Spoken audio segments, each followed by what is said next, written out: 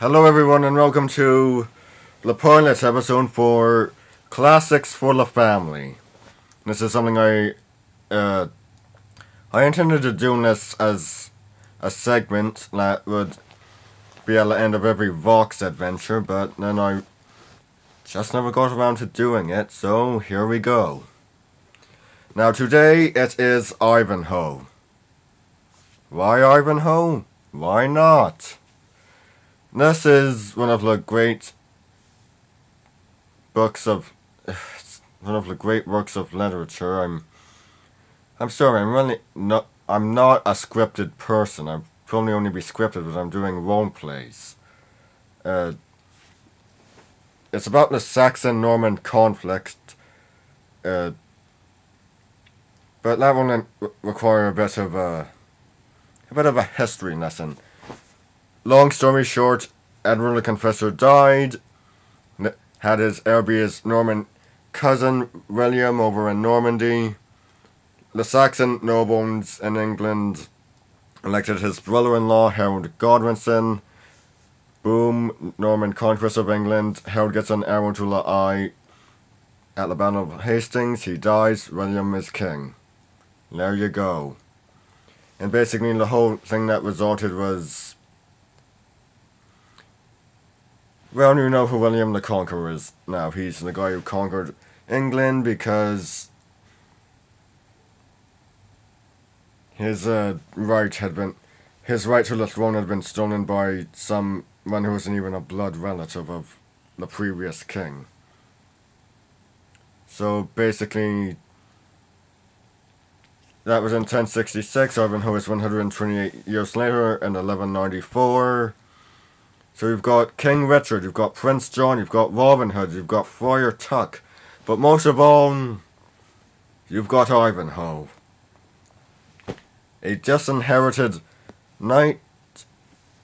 Uh, A disinherited Saxon knight. Why has he been disinherited? For following King Richard to the uh, onto the Third Crusade by his father Cedric the Saxon.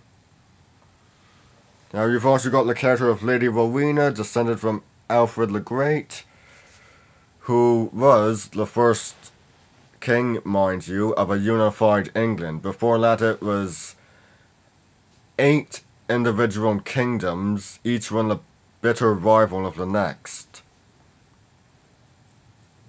So, uh, La Lady Rowena is in love with Ivanhoe. Cedric wants her to marry his nephew Athelstan, who is descended from Harold Godwinson. Blastless beard. And, uh, yeah, you've got some Jewish woman who falls in love with Ivanhoe. Who cares? Nah, I'm just joking. Rebecca's a main character. Uh, uh, besides, uh, besides racial conflict, there's also religious conflict between Christians and Jews. And besides Rebecca, you have her father Isaac of York, who is in some ways the greedy Jew stereotype, but at the same time he's not. And really considering that he's living in England uh, during the regency of Prince John, uh, it, the greed isn't entirely unjustified, but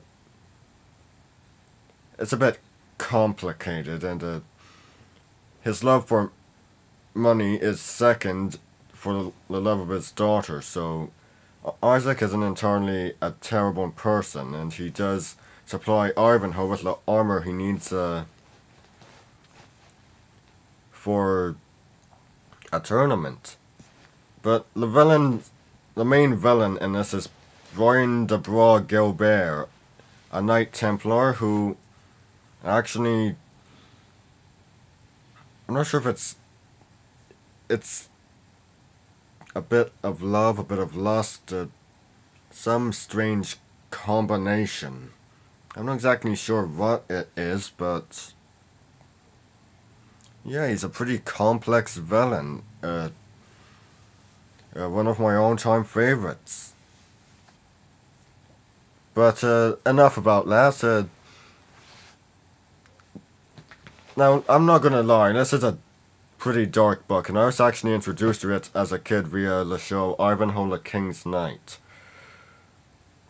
I don't have the DVD because, well, it hasn't been released in English-speaking countries. I know that Mill Creek Entertainment has uh, access from the library of DHX Media, but I they have not yet released the complete series on DVD. Hell, they haven't released the series at all on DVD. I want the series on DVD before the next adaptation of Ivanhoe comes out. Because someone is working on it, apparently with the... Sorry about that guys, I had a bit of technical difficulties, but now let's, uh, let's move on. I've talked about the book itself, but the point... Uh, oh, for...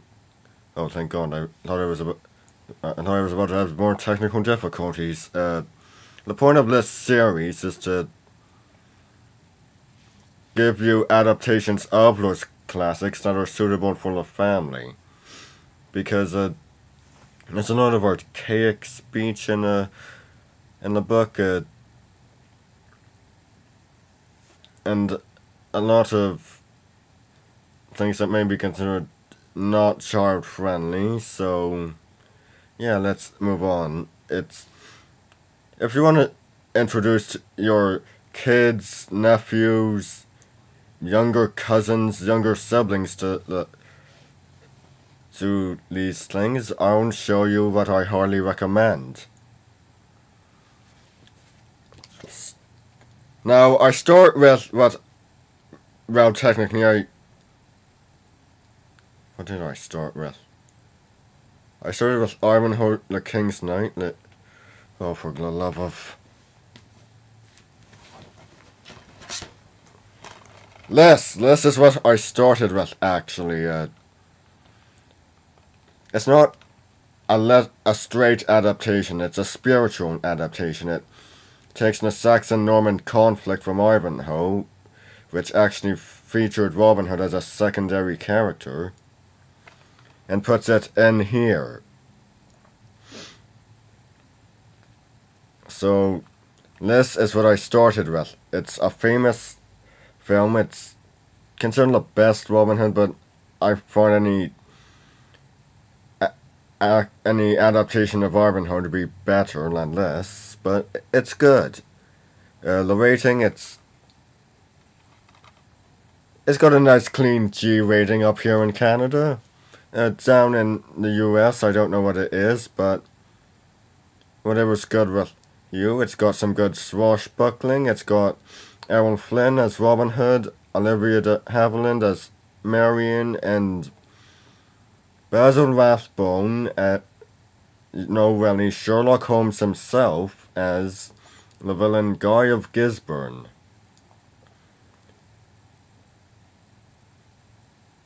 And yet again, another role where he was never allowed to win a sword fight. Never mind him being a better fencer than Errol Flynn. But anyway, uh, next we come to less. Right?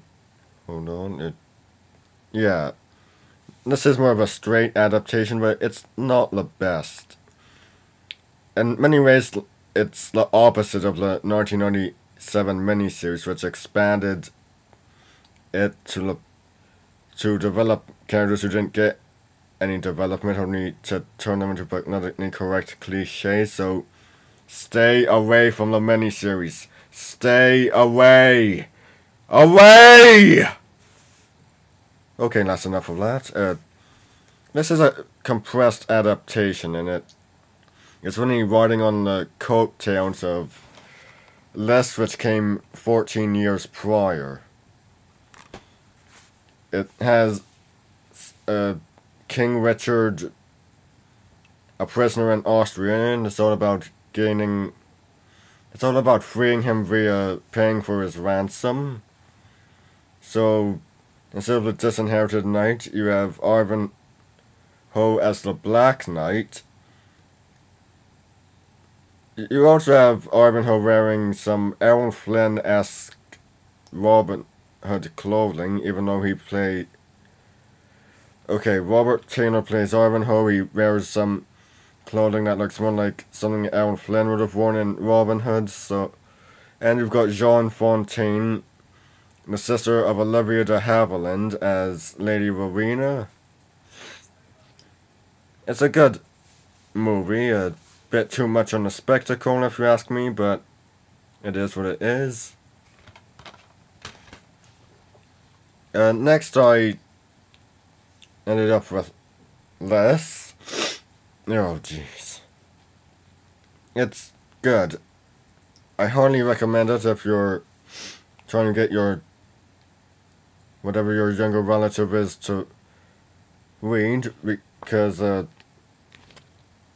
at the end here you have this. Now that you have read the Classics Illustrated Edition, don't miss the added enjoyment of reading the original obtainable at your school or public library. Now this is a reprint of something originally done in the 40s or 50s, I'm not sure, and it's got this beautifully uh, redone col this beautifully restored colors, it's really great, and after that I, oh, for the love of what did I go to next? Now, I ended up with one of these next. Uh, this Classics Illustrated had its revival in the 80s or 90s, and um, it's had a recent revival again, and it's still going strong. This is. It's not exactly. It's not literally the same as less. It's more faithful in some ways, but less faithful in others, and oh man, the artwork, is it ever something? Hold on, let me find a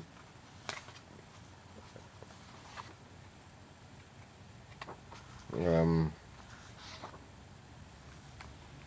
would you look at this beautiful watercolor artwork and uh, Let's, let's see what we've got at the back here. Oh yes, there it is. Now that you have read the Classics Illustrated Edition, don't miss the added enjoyment of reading the original, obtainable at your school or public library. And for added enjoyment, it does this for, for the now that the internet exists, or online at your favorite bookseller.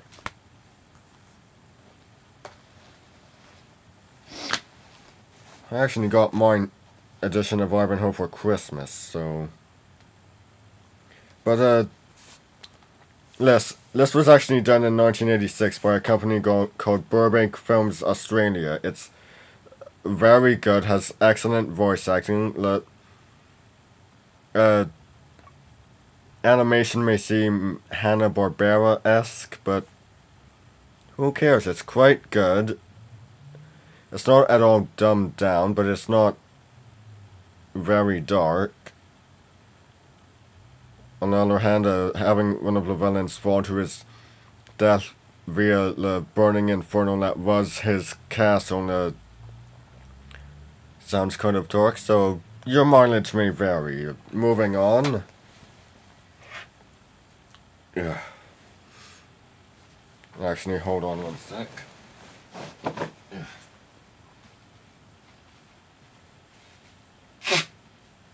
Oh, Mummy Dearest, why do you take the dress down? I can't believe I just said Mummy Dearest. Now, you have less. It's a wonderful 10 set... Uh, no, not 10 set. It, a 10... 10 set thing. Uh, feet... Uh, that's from the Ivanhoe, but it's not Ivanhoe. It's Reginald Front-de-Bœuf, one of the villains. Why is he I have no idea. Uh, it's good. It, these are all hour long from the 60s to the 90s. Uh,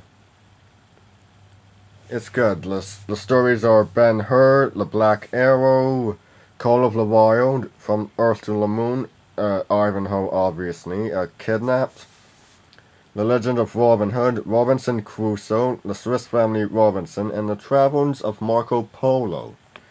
And this is actually the first volume of the Greatest Tales Ever Told uh, collection. Now, I might do the second one another time if I do a Treasure Island, Les Mis, uh, Phantom of the Opera. I don't know. I'm, I may, I may not. But yeah, I highly recommend this. Look, music may be uh, a bit stock. It keeps appearing in a lot of other specials, but I find it to be quite like earworm. Now, less, less, ladies and gentlemen, boys and girls, children of all ages, from 1 to 99. Less is the most faithful screen adaptation of Ivanhoe ever put to screen. A television movie in 19, made in 1982, it has Anthony Andrews as Ivanhoe. Uh, not pictured as Julian Glover as King Richard. Olivia Hussey as Rebecca. Not pictured as Ronald Pickup as Prince John and Sam Neill as Brian de Bois Guilbert. Here his name is shortened to Brian Gilbert. You've got a lot of other great actors. You've got James Mason as Isaac of York. Michael Hordern as Cedric Le Saxon. John Rhys-Davies himself as Reginald Front-de-Bœuf, the most brutal uh, villain you'll ever find in a Walter Scott novel, and really, it's perhaps one of John's uh, more intimidating performances, but the last one is another spiritual adaptation I have to show you. Patrick Bergin starred in this in 1991. It was it's the same year as Prince of Thieves, but I consider it better. It, it too shares the Saxon-Norman conflict story, but while it may seem dark, it's that's only how it looks. It's actually quite light. I enjoy it. It's got a PG rating up here in Canada, but a G rating down in America, despite uh, the middle finger being given. It, and some people call the Canadian rating system weird. This is a PG, not rated, but it's pretty good. It, it keeps, uh, it has a similar feel to it, only advent to Errol Flynn's Adventures of Robin Hood. Uh, I highly recommend these, and I really look forward to when Ivanhoe the King's Knight is released on DVD. I introduced my young cousins to Ivanhoe Lee's, and someday when I'm married and I have kids of my own, I re I really do want to introduce them to Ivanhoe via Lee's. It's a great story, and it would be a shame if it became something obscure. So anyway, uh, leave a like, comment, subscribe if you want, and provided if I've read the book and if I have adaptations of it, leave a suggestion down below in the comments. Otherwise, I'll be doing Hunchback of Notre Dame next time. See ya!